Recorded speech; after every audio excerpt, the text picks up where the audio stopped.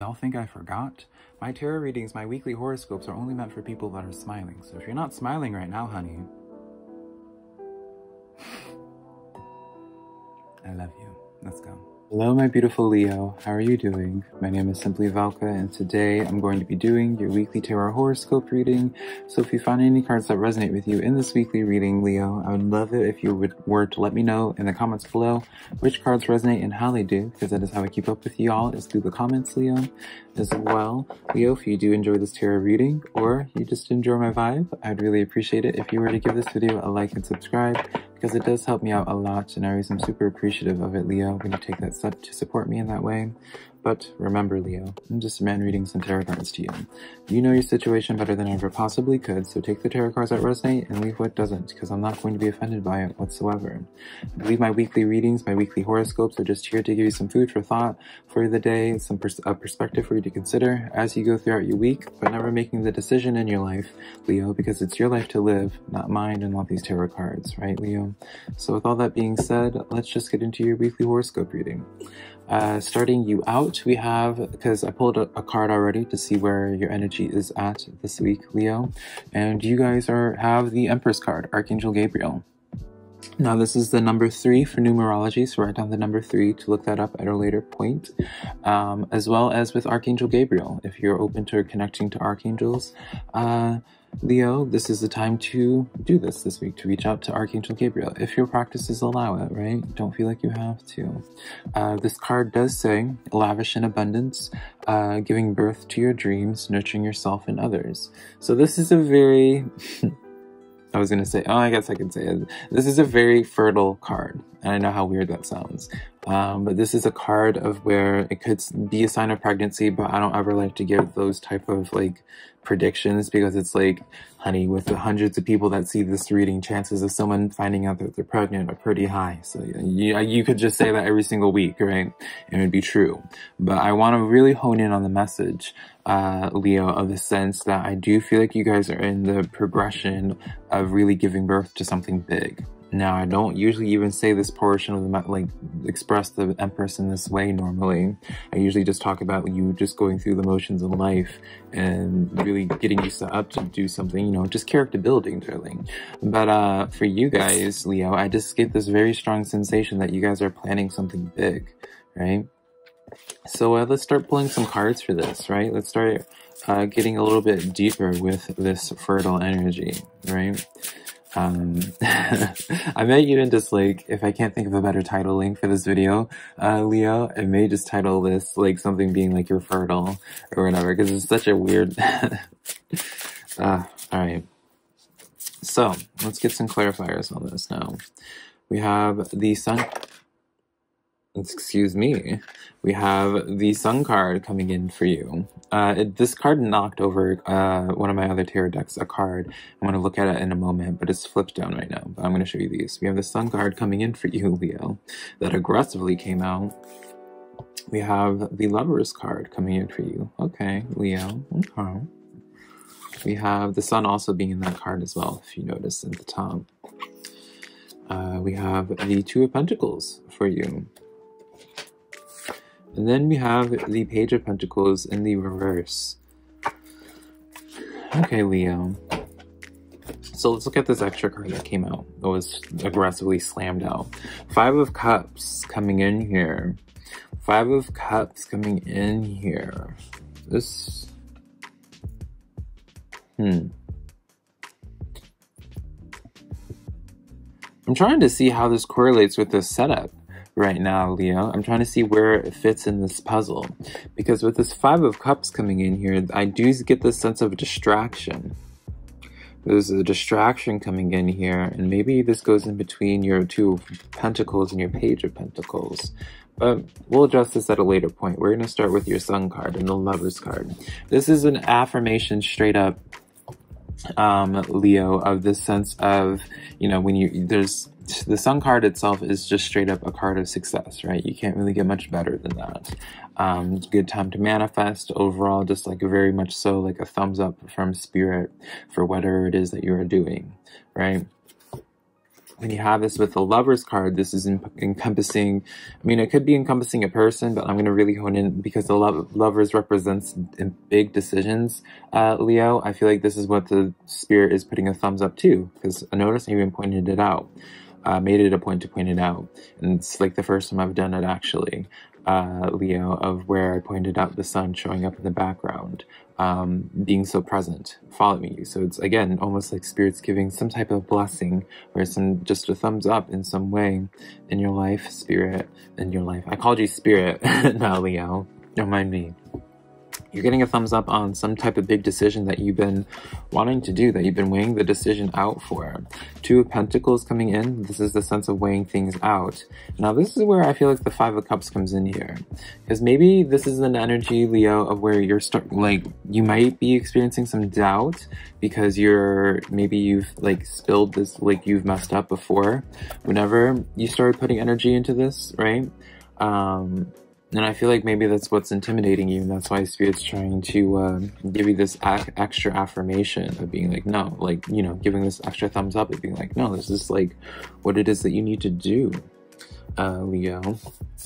Page of Pentacles has, yeah, this is what has you like resisting this. Because I do see the sense, uh, Leo, like I see you wanting to make big decisions, but there's just like this, you know, with this being inverted, like there's this sense of just not wanting to put your neck out there fully, not wanting to take that risk, right? Because you're just unsure of how it's going to work out, because maybe a past time when you put out your neck for a situation, um, you ended up regretting it right? So now you're just at this place of, you know, being out of freeze, right? Where you're like, you want to continue giving birth and like creating this uh, reality for yourself, you know, very much so magician energy, but you're paralyzed um, by the potential outcome of what it could be.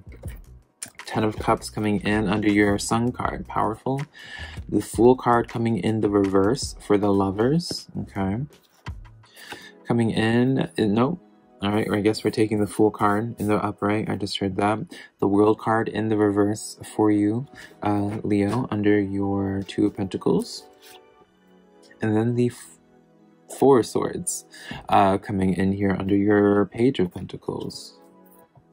All right, so Ten of Cups being under your Sun card, as I was saying, Leo, is powerful, right? The sun's shining in terms of your personal life, in terms just very good with that. So if you're having an fear or an anxiety in terms of like things in your personal life going to shambles, you shouldn't have like I don't want to say you shouldn't, but it's I'm getting very much so, like keeping in mind like the sun's really putting an emphasis on that um, shining brightly on that, right? So take that as you will. Uh, this Fool card coming in that I thought was initially in the inverted, but Spirit made it a very strong point to be like, to have this be turned over for you, Leo. With this under your Lover's card, I get this sense of, uh, yeah, giving this big chance, this big decision, right, that we talk about with the Lovers. Um, another chance with a clean slate, right? Because notice with the Fool card, this is like the sense of like, the Fool is like an energy of um, really just carefree, letting your inhibitions, your guard down, just doing something, right? Not being in your head. It also is the representation of a new journey. That's why you have the zero coming in, right? Because the Fool represents just new, entirely a new chapter. This world card in the reverse for you coming in under your two of pentacles, Leo, lets me know this has been like a repeated cycle for you, right? And this lets me know like this is what's been long standing. Like you've really been at this place of trying to thrive, but also being scared of doing the things that make you thrive more. Leo. It's very interesting. And with this Four Swords being under your Page of Pentacles in the reverse, I mean, I feel like this kind of is self-explanatory, right? Needs to be healing being done, so that's why you know, so you no longer have this Page of Pentacles energy being blocked off, right? There is some type of closure that you need to experience, some type of healing that you need to experience, but it's interesting. How's this going to pan out for my Leos, though? Let's get, uh, which, we're going to use this deck. How's it going to pan out for my Leos this week? Huh. It's still overall quite a good reading, don't you think, Leo? But just very temperance card coming out for you in the upright, going over the sun and lovers and fool and ten of cups. good to have. Page of Swords coming in here under your Two of Pentacles, the World card, and the Lovers and the Fool. And then the Six, Seven of Wands coming in with the Page of Pentacles in the reverse and the Four Swords. Powerful. So do wait, stay the course. Temperance card is patience, keeping your emotions in check and not allowing your emotions getting the best of you.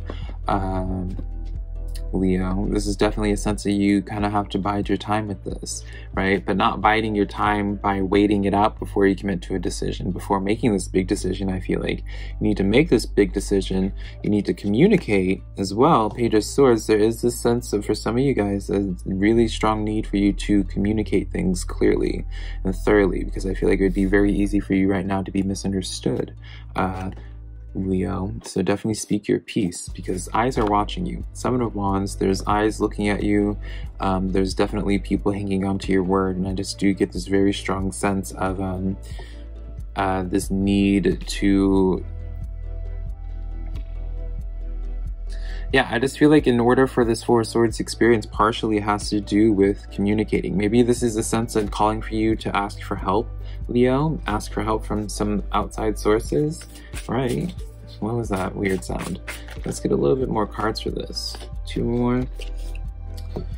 We have the Devil card in the reverse and the Knight of Discs. Yeah, you guys have to work through this Devil there's some situation that you guys need to just kind of have like a finishing thoughts on. With this dynamic, I'm gonna lie, Leo, this is letting me know someone that feels like they are, they've moved on from a situation that was really painful to them at one point. Um, they think that they moved on from it, but they actually haven't. And I feel like there needs to be a little bit more treading there, a little bit more healing. You know, maybe some of you guys need to see. I'm not gonna tell y'all to go see a therapist, but this is very much so like, um, a couple of sessions of therapy will do you do you good some good for this situation i feel. Um let's see here final card. Eight of cups coming in here. You're so scared uh leo. You're so scared of going out and uh going further to give birth to your dream that's a shame don't you think there's such a, this fear of like going out into bigger and better waters, asking for more, you know, there's just, yeah. But it needs to happen, Leo. It needs to happen. Even if you ended up falling flat on your face before, it needs to happen.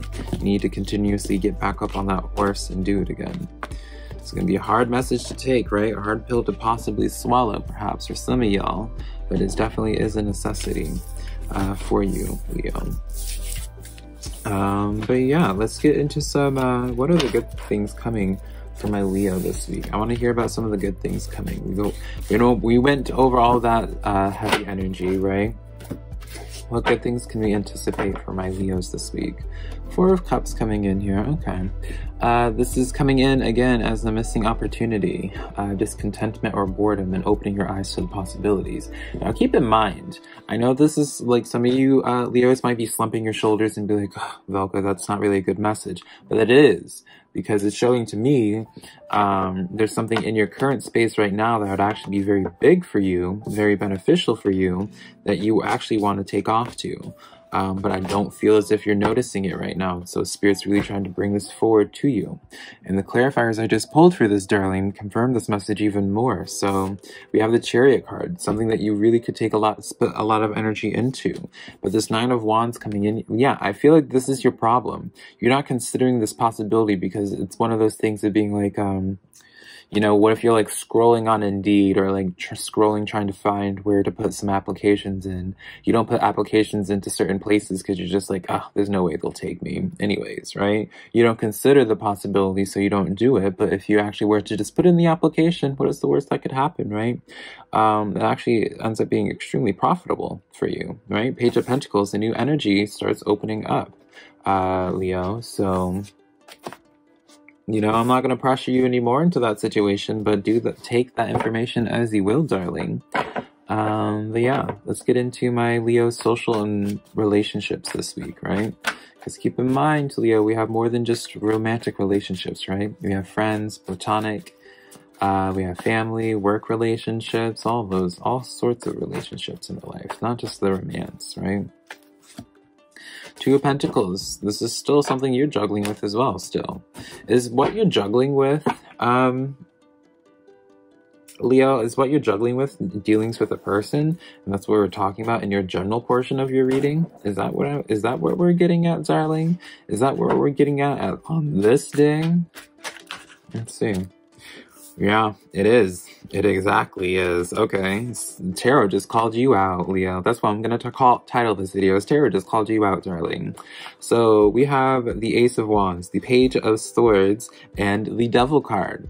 So if you didn't get to the general portion um, of your reading, Leo, definitely do this because I was literally talking about this sense of where I feel like you needed to communicate, um, where I feel like it was easy for you to be misunderstood at this time, and there's just this strong sense of communication, right?